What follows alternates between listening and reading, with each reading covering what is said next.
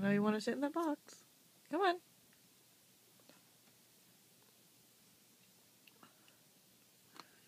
Nope. You gave up? How about Baggie?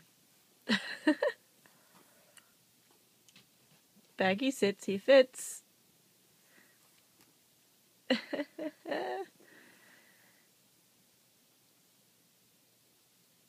he did it.